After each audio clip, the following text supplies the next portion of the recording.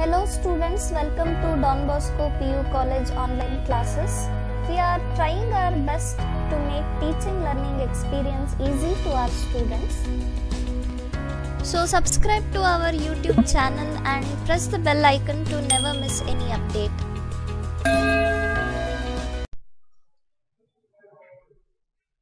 Hi everyone, welcome to Business Studies class by Don Bosco PU College, Chitradurga. In this session, we shall discuss about the third type of retailers that is consumer cooperative store. Uh, in the previous class, we discussed about uh, two types of retailers. The first type is uh, itinerant retailers and there are uh, subtypes in itinerant retailers the second type is fixed shop retailers and of course again there are subtypes in the fixed shop retailers this is the third type of retailer ಓಕೆನಾ ನಾವು three ಮೂರು types of retailers ನೋಡಿದ್ವಿ. ಒಂದೇದು ಇಟಿನರೆಂಟ್ retailers ಅದರಲ್ಲಿ sub types ಎಲ್ಲ ಇದ್ವು. Peddlers ಹಾಕರ್ಸ್ ಆ ತರ ಇದ್ವು. ಫಿಕ್ಸ್ಡ್ ಶಾಪ್ ಅಲ್ಲಿ ಮತ್ತೆ ಸಬ್ ಟೈಪ್ಸ್ ಇದ್ವು. ಯಾವುದು? Small fixed shop retailers and large fixed fixed shop retailers small fixed shop retailers ಅಲ್ಲಿ ಡಿಪಾರ್ಟ್ಮೆಂಟಲ್ ಸ್ಟೋರ್ಸ್ ಆ ತರ ಸಬ್ ಟೈಪ್ಸ್ ನೋಡಿದ್ವಿ. ಲಾರ್ಜ್ ಅಲ್ಲಿ ಈ ಸೂಪರ್ ಮಾರ್ಕೆಟ್ಸ್ ಇರ್ಬೋದು ಡಿಪಾರ್ಟ್ಮೆಂಟಲ್ ಸ್ಟೋರ್ಸ್ ಆ ತರ ಸಬ್ ಟೈಪ್ಸ್ ನೋಡಿದ್ವಿ ರೈಟ್ ಇದು ಮೂರನೇ ಟೈಪ್ಸ್ ಇದು. ಯಾವ್ದು, ಯಾವ್ದ್ರಲ್ಲಿ ಟೈಪ್ಸ್ ಆಫ್ ರಿಟೈಲರ್ ಇದು ಮೂರನೇ ವಿಧ ಇದು. ಯಾವುದು? ಕನ್ಸ್ಯೂಮರ್ ಕೋಆಪರೇಟಿವ್ ಸ್ಟೋರ್ ಇದು. ಓಕೆ ಫೈನ್ ಸಾರಿ ಇದು ನಾಲ್ಕನೇದು ಇದು. ಇನ್ನೊಂದು ಮೂರನೇದು ಯಾವ್ದು ನೋಡಿದ್ವಿ ಅಂದ್ರೆ ಮೇಲ್ ಆರ್ಡರ್ ಹೌಸಸ್ ಅಂತ ನೋಡಿದ್ವಿ. ಅಂದ್ರೆ it is nothing but e business ಅಂತ ನೋಡಿದ್ವಿ. ಕರೆಕ್ಟ್ ಅದ್ರ ಅಡ್ವಾಂಟೇಜ್ ಡಿಸ್ಅಡ್ವಾಂಟೇಜ್ ನೋಡಿದ್ವಿ. ಇದು ನಾಲ್ಕನೇ ವಿಧ. ಅಂದ್ರೆ this is the fourth type first type ಮತ್ತೆ ರಿಪೀಟ್ ಮಾಡ್ತೀನಿ ಕೇಳ್ರಿ ಇಲ್ಲಿ. Itinerant retailer second one fixed shop retailers the third one mail order mail order houses ಅಂತ ಆಯ್ತು. ಇದು ನಾಲ್ಕನೇದು ಬಂದ್ಬಿಟ್ಟು ಕನ್ಸ್ಯೂಮರ್ ಕೋಆಪರೇಟಿವ್ ಸ್ಟೋರ್ ಈ ನಾಲ್ಕನೇ ಟೈಪ್ನ ಈ ಸೆಷನ್ ಅಲ್ಲಿ ಡಿಸ್ಕಸ್ ಮಾಡೋಣ. ಓಕೆನಾ ಏನಿದು ಕನ್ಸ್ಯೂಮರ್ ಕೋಆಪರೇಟಿವ್ ಸ್ಟೋರ್ ಅಂದ್ರೆ ಲೈಕ್ ಥರ್ಡ್ ಟೈಪ್ ಈ ಬಿಸ್ನೆಸ್ ಅಂದ್ರೆ ಮೇಲ್ ಆರ್ಡರ್ ಹೌಸಸ್ ಥರ್ಡ್ ಟೈಪ್ನ ನೀವು ಹೇಗೆ ಮುಂಚೆನೆ ನಾವು ಡಿಸ್ಕಸ್ ಮಾಡಿದ್ವೋ, ಅದೇ ತರ ಏನಿದು ಕೋಆಪರೇಟಿವ್ ಸೊಸೈಟಿ ಅಂದ್ರೆ ಕನ್ಸ್ಯೂಮರ್ ಕೋಆಪರೇಟಿವ್ ಸೊಸೈಟಿಯನ್ನು ನಾವು ಫಾರ್ಮ್ಸ್ ಆಫ್ ಬಿಸ್ನೆಸ್ ಆರ್ಗನೈಸೇಷನ್ ಅದ್ರಲ್ಲಿ ಡಿಸ್ಕಸ್ ಮಾಡಿದ್ವಿ. ಯಾವ್ದಂದ್ರೆ ಕೋಆಪರೇಟಿವ್ ಸೊಸೈಟಿ ನಾವು forms of business organisation chapter ಅಲ್ಲಿ ಸೆಕೆಂಡ್ ಚಾಪ್ಟರ್ ಅನ್ಸುತ್ತೆ. Okay forms of business organisation ಅಲ್ಲಿ ಸೋಲ್ ಪ್ರೊಪ್ರೇಟರ್ಶಿಪ್ ಬಗ್ಗೆ ನೋಡಿದ್ವಿ ಪಾರ್ಟ್ನರ್ಶಿಪ್ ಬಗ್ಗೆ ನೋಡಿದ್ವಿ ದೆನ್ ಜಾಯಿಂಟ್ ಸ್ಟಾಕ್ ಕಂಪನಿ ಬಗ್ಗೆ ನೋಡಿದ್ವಿ ಜಾಯಿಂಟ್ ವೆಂಚರ್ಸ್ ಬಗ್ಗೆ ನೋಡಿದ್ವಿ. ಅದೇ ತರ ಕೋಆಪರೇಟಿವ್ ಸೊಸೈಟಿ ಅಂತ ಒಂದು ಫಾರ್ಮ್ ಬಗ್ಗೆ ನಾವು ಡಿಸ್ಕಸ್ ಮಾಡಿದ್ವಿ. ಓಕೆನಾ ನೆನಪಿರ್ಬೇಕು ನಿಮಗೆ. ಅದೇ ಇಲ್ಲಿ ಸೇಮ್ ಏನು ಚೇಂಜ್ ಇಲ್ಲ. ಓಕೆನಾ ಆ ಕೋಆಪರೇಟಿವ್ ಸೊಸೈಟಿ ಏನು ರಿಟೇಲ್ ಶಾಪ್ನ ನಡೆಸ್ತೋ ಅದನ್ನೇ ಏನಂತೀವಿ ನಾವು? ಕನ್ಸ್ಯೂಮರ್ ಕೋಆಪರೇಟಿವ್ ಸ್ಟೋರ್ ಅಂತ ಕರಿತೀವಿ. ಓಕೆನಾ ಇಲ್ಲಿ ಏನಿರುತ್ತೆ ಅಂದ್ರೆ ಕೋಆಪರೇಟಿವ್ ಸೊಸೈಟಿ ನಮ್ಮ ಮುಂಚೆನೆ ಪ್ರೀವಿಯಸ್ ಕ್ಲಾಸ್ ಅಲ್ಲಿ ಹೇಳಿದ್ದೀನಿ but anyway I I will explain briefly cooperative society is nothing but it is a voluntary association ಇದು ವಾಲಂಟರಿ ಅಸೋಸಿಯೇಷನ್ ಇಲ್ಲಿ ಯಾರು ಯಾರನ್ನು ಫೋರ್ಸ್ ಮಾಡಲ್ಲ. ಬಂದು ಇಲ್ಲಿ ನಮ್ಮ ಕೋಆಪರೇಟಿವ್ ಸೊಸೈಟಿ ಸೇರ್ಕೋ. ಓಕೆ ಇಲ್ಲಿ ಯಾರು ಯಾರನ್ನು ಫೋರ್ಸ್ ಮಾಡಲ್ಲ. ಇದು ಒಂದು ವಾಲಂಟರಿ ಅಸೋಸಿಯೇಷನ್ ಆಫ್ ಪರ್ಸನ್ಸ್ ಯಾವ ತರ ಪರ್ಸನ್ಸ್ ಅಂದ್ರೆ ಎಕನಾಮಿಕಲಿ ವೀಕ್ ಪರ್ಸನ್ಸ್ ಯೂಶಲಿ ಯಾರು ಕೋಆಪರೇಟಿವ್ ಸೊಸೈಟಿನ ಫಾರ್ಮ್ ಮಾಡ್ತಾರಂದ್ರೆ ಎಕನಾಮಿಕಲಿ ವೀಕ್ ಪರ್ಸನ್ಸ್ ಏನಕ್ಕೆ ಫಾರ್ಮ್ ಮಾಡ್ತಾರಂದ್ರೆ ಅವರ ಎಕನಾಮಿಕ್ ವೆಲ್ಫೇರ್ಗೋಸ್ಕರ ಅವರು ಏನ್ ಮಾಡ್ತಾರೆ, ಒಂದು ಕೋಆಪರೇಟಿವ್ ಸೊಸೈಟಿ ಸ್ಟಾರ್ಟ್ ಮಾಡ್ಬಿಟ್ಟು ಅವರಿಗೆ ಬೆನಿಫಿಟ್ ಆಗೋ ಆಕ್ಟಿವಿಟೀಸ್ನ ಮಾಡ್ಬಿಟ್ಟು ಪ್ರಾಫಿಟ್ನ ಶೇರ್ ಮಾಡ್ಕೊತಾರೆ. ಅಂದ್ರೆ ಕ್ಯಾಪಿಟಲ್ನ ಎಲ್ಲಾರು ಇನ್ವೆಸ್ಟ್ಮೆಂಟ್ ಮಾಡ್ತಾರೆ, ಅದೇ ತರ ಪ್ರಾಫಿಟ್ ಅಂಡ್ ಲಾಸ್ನ ಎಲ್ಲಾರು ಶೇರ್ ಮಾಡ್ಕೊತಾರೆ. ಓಕೆ ನಾಟ್ ಈಕ್ವಲಿ ಅವರು ಕ್ಯಾಪಿಟಲ್ ಯಾವ ರೇಷಿಯೋನಲ್ಲಿ ತಂದಿರ್ತಾರೋ ಅದೇ ರೇಷಿಯೋನಲ್ಲಿ ಪ್ರಾಫಿಟ್ ಪ್ಲಸ್ ಲಾಸ್ ಎರಡು ಸೇಮ್ ರೇಷಿಯೋನಲ್ಲಿ ಅಂದ್ರೆ capital sharing sharing ratio basis ಮೇಲೆ ಶೇರ್ ಆಗುತ್ತೆ. ಓಕೆನಾ ಇದೊಂದು ವಾಲಂಟರಿ ಅಸೋಸಿಯೇಷನ್ ನಮಗೆ ಸೆಕೆಂಡ್ ಚಾಪ್ಟರ್ ಅನ್ಸುತ್ತೆ. ಚಾಪ್ಟರ್ ಹೆಸರು ಫಾರ್ಮ್ಸ್ ಆಫ್ ಬಿಸ್ನೆಸ್ ಆರ್ಗನೈಸೇಷನ್ ಅದರಲ್ಲಿ ಕೋಆಪರೇಟಿವ್ ಸೊಸೈಟಿ ಅಂತ ಒಂದು ಫಾರ್ಮ್ ಬರುತ್ತೆ. ಅದರಲ್ಲಿ ಇನ್ ಡೀಟೇಲ್ ಏನು ಫೀಚರ್ಸ್ ಡಿಸ್ಕಸ್ ಮಾಡಿದ್ವಿ ಅಡ್ವಾಂಟೇಜಸ್ ಡಿಸ್ಕಸ್ ಮಾಡಿದ್ವಿ ಡಿಸ್ಅಡ್ವಾಂಟೇಜಸ್ ಡಿಸ್ಅಡ್ವಾಂಟೇಜಸ್ ಡಿಸ್ಕಸ್ ಮಾಡಿದ್ವಿ. ಇದ್ರಲ್ಲೂ ಸೇಮ್ ಡಿಸ್ಕಸ್ ಮಾಡ್ತಾ ಹೋಗೋಣ. ಓಕೆನಾ ಮತ್ತೆ ರಿಪೀಟ್ ಮಾಡ್ತೀನಿ. Cooperative society is it is an voluntary association ಓಕೆನಾ ಇಟ್ ಈಸ್ ವಾಲಂಟರಿ ಅಸೋಸಿಯೇಷನ್ ಇದೊಂದು ವಾಲಂಟಿಯರ್ ಅಸೋಸಿಯೇಷನ್ ಎಲ್ಲರೂ ವಾಲಂಟಿಯರ್ ಆಗಿ ಬಂದು ಜಾಯಿನ್ ಆಗ್ತಾರೆ. ಯಾವ ತರ ಅಂದ್ರೆ ಯಾವ ತರ ಪೀಪಲ್ ಇರ್ತಾರೆ ಇಲ್ಲಿ? ಎಕನಾಮಿಕಲಿ ವೀಕ್ ಪೀಪಲ್ ಇರ್ತಾರೆ. ಮಿನಿಮಮ್ ಎಷ್ಟು ಜನ ಇರಬೇಕು? ಹತ್ತು ಜನ ಇರಬೇಕು. ಹತ್ತು ಜನ ಇದ್ರೆ ಒಂದು ಕೋಆಪರೇಟಿವ್ ಸೊಸೈಟಿನ ಈಸಿಯಾಗಿ ಸ್ಟಾರ್ಟ್ ಮಾಡಬಹುದು ಓಕೆನಾ ಆ ಕೋಆಪರೇಟಿವ್ ಸೊಸೈಟಿ ಒಂದು ಶಾಪ್ನ ರನ್ ಮಾಡುತ್ತೆ. ಆ ಶಾಪ್ ಅಲ್ಲಿ ಬಂದಿರೋ ಪ್ರಾಫಿಟ್ನ ಏನ್ ಮಾಡ್ತಾರೆ? ಅವರ ಮೆಂಬರ್ಸ್ ನಡುವೆ ಶೇರ್ ಮಾಡ್ಕೊಂತಾರೆ. ಸೇಮ್ ಈಕ್ವಲ್ ಆಗಲ್ಲ.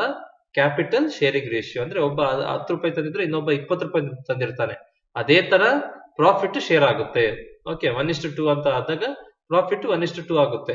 ಒಬ್ಬನಿಗೆ ಐವತ್ತು ರೂಪಾಯಿ ಸಿಕ್ಕಿದ್ರೆ ಯಾರು ಇಪ್ಪತ್ತು ರೂಪಾಯಿ ಹಾಕಿರ್ತಾರೋ ಅವನಿಗೆ ನೂರು ರೂಪಾಯಿ ಸಿಗುತ್ತೆ. ಓಕೆನಾ you got the point right okay fine so ಇಲ್ಲಿ ಇದ್ರ ಮೇನ್ ಏಮ್ ಏನ್ ಗೊತ್ತಾ? ಆ ಮೆಂಬರ್ಸ್ ಇಂದು ಡೆವಲಪ್ಮೆಂಟ್ ಆಗ್ಬೇಕು. ಯಾವ ತರ? ಎಕನಾಮಿಕ್ ಡೆವಲಪ್ಮೆಂಟ್ ಆಗ್ಬೇಕು. ಅಂದ್ರೆ ಪ್ರಾಫಿಟ್ ಆ ಮೆಂಬರ್ಸ್ ನಡುವೆ ಶೇರ್ ಮಾಡ್ಕೊತಾರೆ ಓಕೆ ಫೈನ್ ಈಗ ಅಡ್ವಾಂಟೇಜಸ್ ನೋಡ್ತಾ ಹೋಗೋಣ. Advantages and disadvantages of cooperative shop ಬಗ್ಗೆ ನೋಡೋಣ. ಓಕೆ ಕೋಆಪರೇಟಿವ್ ಸ್ಟೋರ್ ಬಗ್ಗೆ ನೋಡೋಣ. ಓಕೆ ಏನ್ ಅಡ್ವಾಂಟೇಜಸ್ ಅಂದ್ರೆ ಕೋಆಪರೇಟಿವ್ ಸ್ಟೋರ್ ಇಂದ ಏನೇನು ಅಡ್ವಾಂಟೇಜಸ್ ಇದೆ? ಕಸ್ಟಮರ್ಗೆ ಆಗಿರ್ಬೋದು, ಇಲ್ಲ ಆ ಕೋಆಪರೇಟಿವ್ ಸೊಸೈಟಿನ ರನ್ ಮಾಡೋರ್ಗೆ ಆಗಿರ್ಬೋದು, ಅಂದ್ರೆ ಮೆಂಬರ್ಸ್ ಆಗಿರ್ಬೋದು, ಏನೇನ್ ಅಡ್ವಾಂಟೇಜಸ್ ಇದೆ? ಅಂದ್ರೆ ಏನೇನ್ ಬೆನಿಫಿಟ್ಸ್ ಇದೆ ಅಂತ ನೋಡ್ತಾ ಹೋಗೋಣ. ಓಕೆ ಫೈನ್ ಫಸ್ಟ್ ಅಡ್ವಾಂಟೇಜ್ ಏನಂದ್ರೆ ಈಸ್ ಫಾರ್ಮೇಶನ್ ಅಂದ್ರೆ ಆಕ್ಚುಲಿ ಈಸ್ ಇನ್ಫಾರ್ಮೇಶನ್ ಆಗಿದೆ ಆಕ್ಚುಲಿ ಅದು that is easy formation or is information ಅದು. You got the point right easy formation ಅಂತ ಮಾಡಬಹುದು ಈಸ್ ಇನ್ಫಾರ್ಮೇಶನ್ ಅಂತ ಮಾಡಬಹುದು ಹಾಗೆ ಇನ್ ಅದು ಜಾಯ್ನ್ ಆಗಿದೆ ಏನಿದು ಹೆಸರಲ್ಲೇ ಇದೆ? ಅಂದ್ರೆ ಕೋಆಪರೇಟಿವ್ ಸೊಸೈಟಿನ ಅವ್ರ ಕೋಆಪರೇಟಿವ್ ಸೊಸೈಟಿ ಸ್ಟೋರ್ನ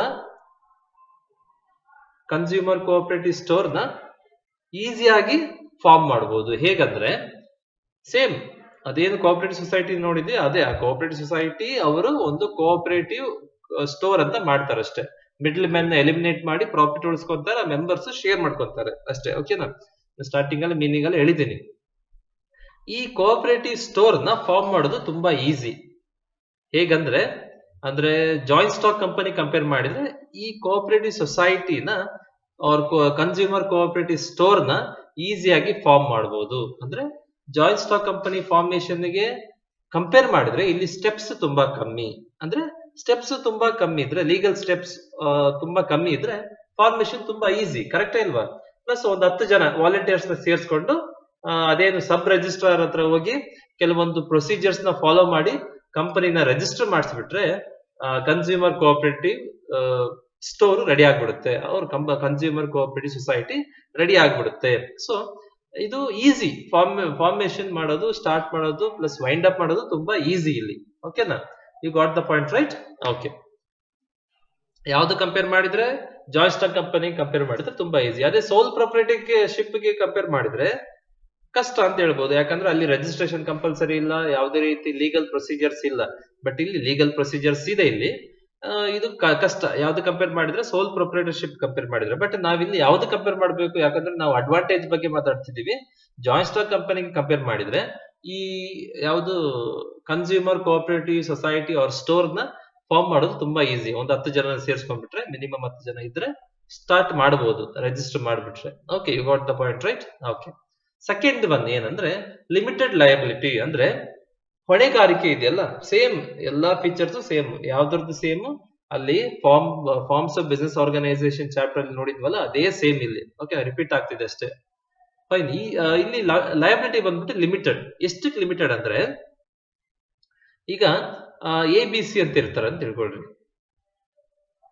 ಓಕೆನಾ ಎ ಹತ್ತು ರೂಪಾಯಿ ತಂದಿರ್ತಾನೆ ಬಿ ಇಪ್ಪತ್ತು ರೂಪಾಯಿ ತಂದಿರ್ತಾನೆ ಸಿ ಮೂವತ್ತು ರೂಪಾಯಿ ತಂದಿರ್ತಾನೆ. ಎ ಹತ್ತು ರೂಪಾಯಿ ಬಿ ಇಪ್ಪತ್ತು ರೂಪಾಯಿ, ಸಿ ಮೂವತ್ತು ರೂಪಾಯಿ ಅಂದ್ರೆ ಹತ್ತು ಜನ ಬೇಕಿಲ್ಲಿ ಬಟ್ ನನ್ನ ಎಕ್ಸಾಂಪಲ್ ತ್ರೀ ಮೆಂಬರ್ಸ್ ತಗೊಂಡಿದ್ದೀನಿ. ಅಂದ್ರೆ ರೇಷಿಯೋ ಎಷ್ಟು ಬರುತ್ತೆ? ಎಲ್ಲಾ ಝೀರೋಸ್ ಕ್ಯಾನ್ಸಲ್ ಮಾಡಿದ್ರೆ ಒನ್ ಇಷ್ಟು ಟೂ ಇಷ್ಟು ತ್ರೀ ಬರುತ್ತೆ. ಒನ್ ಇಷ್ಟು ಟೂ ಇಷ್ಟು ತ್ರೀ ಬರುತ್ತೆ. You got the point right ಅಂದ್ರೆ ಈಗ ಪ್ರಾಫಿಟ್ ಎಷ್ಟು ಬಂತು?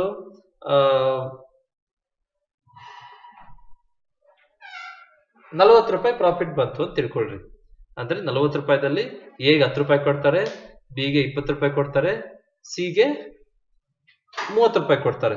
ಅಂದ್ರೆ ಸಾರಿ ಎಷ್ಟು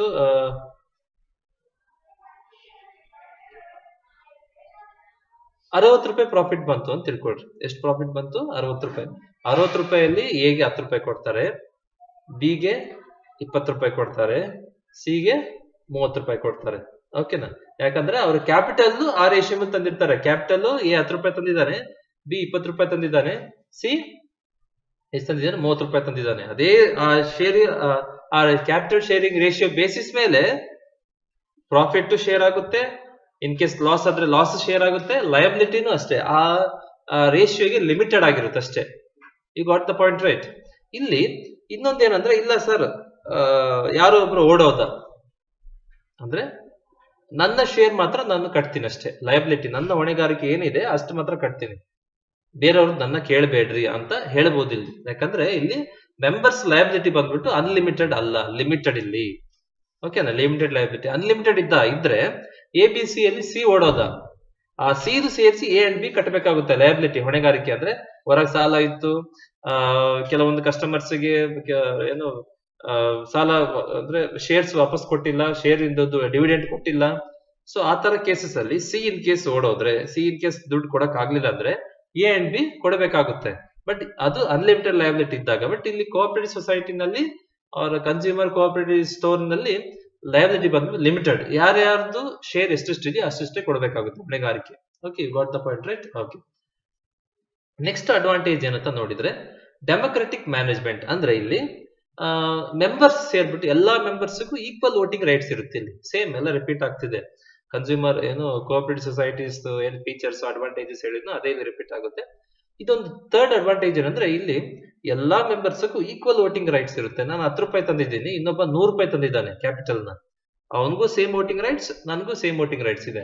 ನಾನು ಹತ್ತು ರೂಪಾಯಿ ತಂದವನಿಗೂ ಸೇಮ್ ವೋಟಿಂಗ್ ರೈಟ್ಸ್ ಒಂದು ಕೋಟಿ ತಂದವನಿಗೂ ಸೇಮ್ ವೋಟಿಂಗ್ ರೈಟ್ಸ್ ಇರುತ್ತೆ ಇಲ್ಲಿ.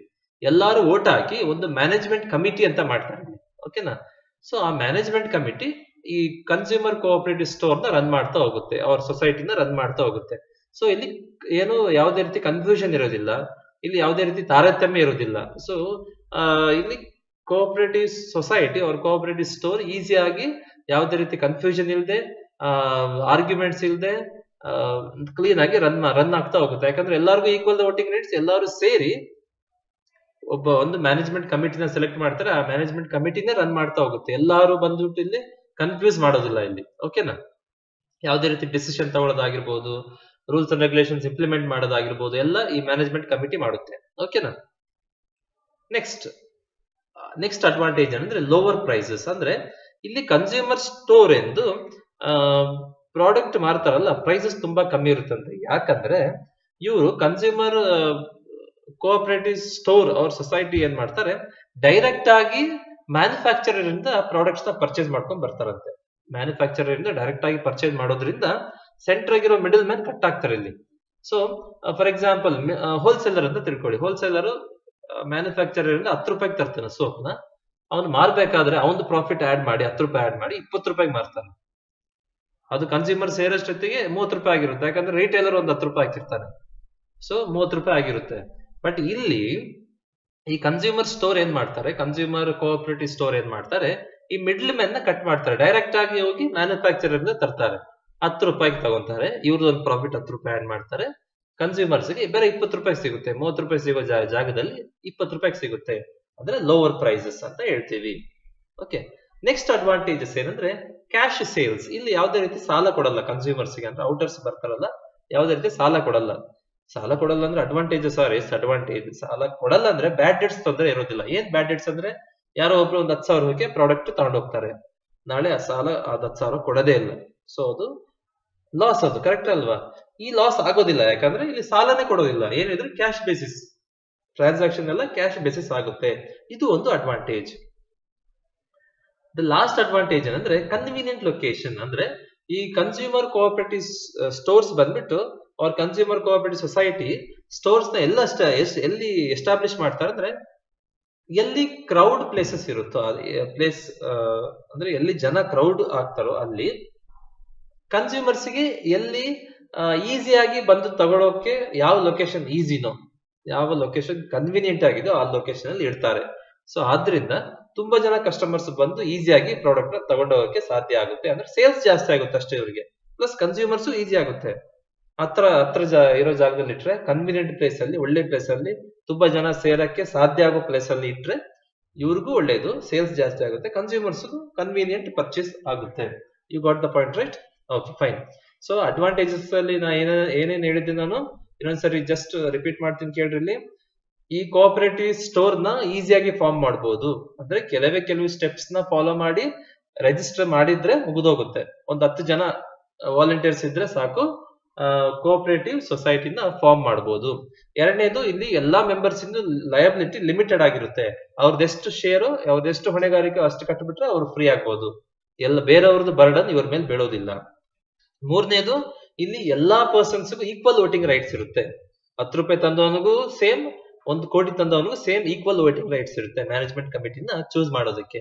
ನೆಕ್ಸ್ಟ್ ಇಲ್ಲಿ ಪ್ರಾಡಕ್ಟ್ ಈ ಕನ್ಸ್ಯೂಮರ್ ಕೋಆಪರೇಟಿವ್ ಸ್ಟೋರ್ನಲ್ಲಿ ಪ್ರಾಡಕ್ಟ್ ತುಂಬಾ ಕಮ್ಮಿ ಬೆಲೆಗೆ ಸಿಗುತ್ತೆ. ಯಾಕಂದ್ರೆ ಇವರು ಮಿಡ್ಲ್ ಮ್ಯಾನ್ ಎಲಿಮಿನೇಟ್ ಮಾಡಿ ಡೈರೆಕ್ಟ್ ಆಗಿ ಪ್ರೊಡ್ಯೂಸರ್ ಇಂದ ತಗೊತಾರೆ ದ ಲಾಸ್ಟ್ ಒನ್ ಇನ್ನು ಇನ್ನೊಂದು ಅಡ್ವಾಂಟೇಜ್ ಏನಂದ್ರೆ ಇಲ್ಲಿ ಸಾಲ ಕೊಡಲ್ಲ, ಸಾಲ ಕೊಡೋದಲ್ಲ ಅದೊಂದು ಅಡ್ವಾಂಟೇಜ್ ಇಲ್ಲಿ. ಅಂದ್ರೆ ಬ್ಯಾಡ್ ಡೆಟ್ಸ್ ತೊಂದರೆ ಇರೋದಿಲ್ಲ. ನೆಕ್ಸ್ಟ್ ದ ಲಾಸ್ಟ್ ಅಡ್ವಾಂಟೇಜ್ ಏನಂದ್ರೆ ಕನ್ವೀನಿಯಂಟ್ ಲೊಕೇಶನ್ ಅಲ್ಲಿ ಕನ್ಸ್ಯೂಮರ್ ಕೋಆಪರೇಟಿವ್ ಸ್ಟೋರ್ ಇರೋದ್ರಿಂದ ಇವ್ರ ಸೇಲ್ಸ್ ಜಾಸ್ತಿ ಆಗುತ್ತೆ. ಕನ್ಸ್ಯೂಮರ್ಸ್ಗೂ ಈಸಿ ಆಗುತ್ತೆ. ನೆಕ್ಸ್ಟ್ ಡಿಸ್ಅಡ್ವಾಂಟೇಜಸ್ ನೋಡೋಣ. Limitations of cooperative consumer cooperative store ಏನು ಲಿಮಿಟೇಷನ್ಸ್ ಏನಂತ ನೋಡ್ತಾ ಹೋದಾಗ ಫಸ್ಟ್ ಲಿಮಿಟೇಷನ್ ಏನಂದ್ರೆ ಲ್ಯಾಕ್ ಆಫ್ ಇನಿಷಿಯೇಟಿವ್ ಅಂದ್ರೆ, ಇಲ್ಲಿ ಇನಿಷಿಯೇಟಿವ್ ಜಾಸ್ತಿ ಜನ ತಗೊಳಲ್ಲ. ಓಕೆನಾ ಯಾಕಂದ್ರೆ